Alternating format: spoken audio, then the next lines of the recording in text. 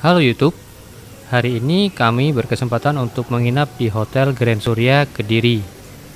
Dan kali ini kita pesannya nggak melalui aplikasi traveling seperti Traveloka dan Tiket.com, melainkan kami memesan melalui travel agent secara offline.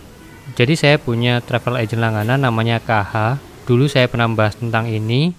Kenapa saya pesan di KH? Karena setelah saya bandingkan dengan Traveloka dan Tiket.com, harganya selisihnya hampir 100 ribu. Jadi ya lumayan banget kan?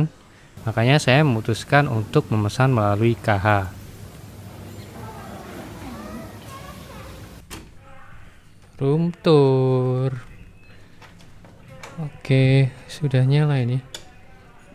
Ini tipe kamar superior twin. Masih sama ya kita selalu twin akhir-akhir ini. Dan viewnya ini seharusnya kolam renang. Cuman oh ini ngadep depan ya bukan kolam renang ini? Oh iya yang kamar sebaliknya yang dapat kolam renang ini view depan. Dan di sini seperti biasa ya ini ada lemari lengkap dengan safe deposit box. Loh oh nggak ada safe deposit boxnya?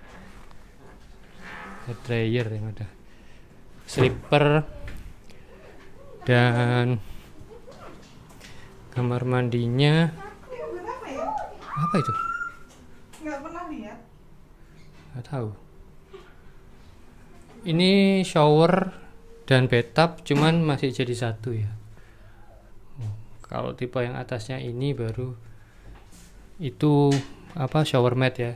Biar nggak kepreset taruh sini kalau pas gunain shower. Sisanya seperti biasa. Handuk kecil handuk mandi sikat gigi sabun dan lain-lain. Ini apa ini ya? Seperti biasa ada komplementari ini ya terus ini ya brosur-brosur seperti biasa. Terus menunya untuk room service. Dan ini ada minibar tapi hati-hati ini oh kosong. Ini kalau ada ini berbayar ya. Oke kita explore explore ya. Ini lantai satu. Jadi kalau kita keluar dari lift kalau misalkan kita ke sana itu ke arah lobby tadi ya. Ini di bawahnya adalah cafe yang tadi kata Jaya Long itu ya. Dan di sana itu lobby yang tadi dan ini adalah uh, coffee shop yang juga untuk breakfast besok. Jadi besok pagi kita ke sini nah sekarang kita lihat kolam renangnya ya swimming poolnya. Di lantai yang sama di sini swimming poolnya ada untuk anak ada untuk dewasa. Yang anak indoor yang dewasa outdoor. Ini kebetulan lagi hujan. Kita lihat aja nah ini sebelah sana itu restonya yang tadi itu yang buat breakfast besok dan juga ada coffee shopnya. Ini kolam renang untuk anak. Ini yang untuk dewasa. Oh hujan. Biasanya sih kita dapat yang view ini ya kolam renang ini. Cuman kebetulan hari ini kayaknya sih memang lagi penuh. Jadi memang dapatnya yang view ke depan. Ini tempat ganti bajunya tempat kamar mandinya dan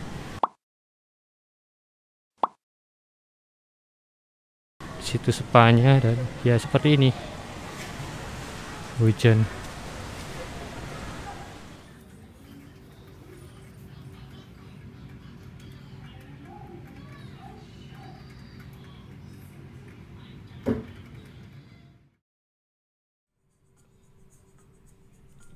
Selamat pagi ke diri. Kita coba sarapannya di sini ya.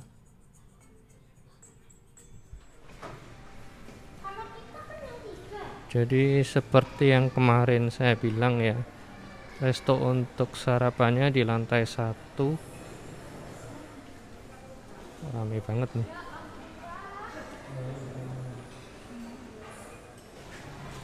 Jadi setelah sempat nunggu lumayan lama, kita akhirnya dapat kursi untuk makan. Di sini itu menu sarapannya buffet ya. Dan kita masih diizinkan untuk mengambil sendiri makanan kita asalkan selama mengambil makanan itu kita harus menggunakan masker. Jadi tidak diambilkan oleh petugas hotel seperti di hotel review yang lainnya ya. Menu buffet di sini mulai dari makanan tradisional, ada juga sushi masakan Jepang, ada macam-macam cake, dan untuk kopinya mereka pakai mesin ya. Tapi mesin punyanya Nescafe. Dan juga disediakan kopi hitam biasa lengkap dengan tehnya. Ada juga aneka sereal buat anak-anak.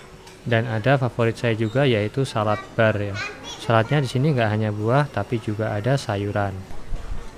Di bagian luar dari resto ini ada beberapa makanan yang disiapkan secara fresh. Termasuk jika kita pesan telur mata sapi atau omelet itu di sini ya ada juga beberapa menu lain seperti lamian, bakso, dan juga aneka telur yang saya sebutkan sebelumnya. Seperti yang saya sebutkan sebelumnya, restoran ini dekat dengan kolam renang. Jadi biasanya setelah kita sarapan, kita tergoda untuk berenang di kolam renang hotel ini. Oh iya, di dekat pintu masuk resto ini itu ada namanya Free Morning Shoe Shine. Jadi ada layanan semir sepatu gratis ya dari hotel ini mulai dari jam 6 pagi sampai jam 9 pagi. Jadi lumayan nih sambil nunggu sarapan kita bisa membuat sepatu kita lebih bersih sehingga setelah kita sarapan kita bisa kembali ke kamar dengan sepatu yang mengkilap. Oke sekian review saya kali ini untuk Grand Surya Hotel Kediri. Semoga bisa menjadi referensi dan sampai jumpa di video selanjutnya.